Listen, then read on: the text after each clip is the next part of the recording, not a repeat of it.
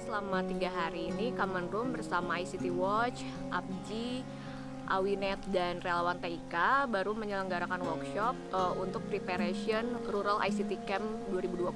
Nah, selain uh, kita ngebahas beberapa agenda program, kita juga merancang buku panduan infrastruktur internet berbasis komunitas. Workshop yang berjalan selama tiga hari ini sangat seru dan inspiratif banget. Alhamdulillah kemarin selama tiga hari mengikuti kegiatan workshop ya dengan kawan-kawan APSI, relawan TIK, dan Room untuk membahas acara ICT Camp di Ciptagelar.